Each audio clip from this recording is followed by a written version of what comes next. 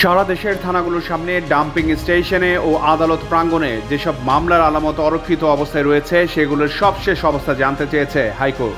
দু সপ্তাহের মধ্যে পুলিশ মহাপরিদর্শককে প্রতিবেদন দিতে বলা হয়েছে।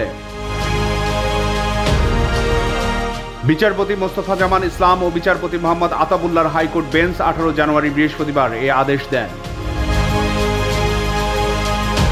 আদালতে রিটের পক্ষে ছিলেন আইনজীবী মোহাম্মদ শিশির মনির। তিনি জানান, সারা দেশের থানাগুলোর সামনে ডাম্পিং স্টেশন ও আদালত প্রাঙ্গণে যেসব মামলার আলামত অরক্ষিত অবস্থায় রয়েছে, সেগুলোর প্রতিবেদন সংগ্রহ করে আগামী দু মাসের মধ্যে আদালতে দাখিল করতে আইনজীবীকে নির্দেশ দেওয়া হয়েছে।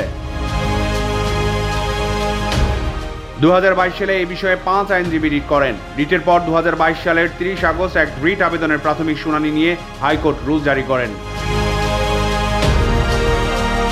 রুলে মালখানা ও থানায় অনিরাপদভাবে থাকা জব্দ মালামাল সংরক্ষণে প্রয়োজনীয় পদক্ষেপ নিতে বিবাদীদের নিষ্ক্রিয়তা কেন অবৈধ হবে না তা জানতে চাওয়া হয়।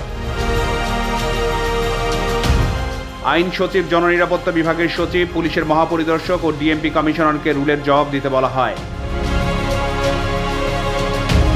রিটকারী পাঁচ আইনজীবী হলেন মোহাম্মদ নোয়াব আলী, মোহাম্মদ মুজাহিদুল ইসলাম, মোস্তাফিজুর রহমান, জি এম মুজাহিদুর রহমান মুন্না ও ইমরুল কায়েস। ভোরের পাতা ঢাকা।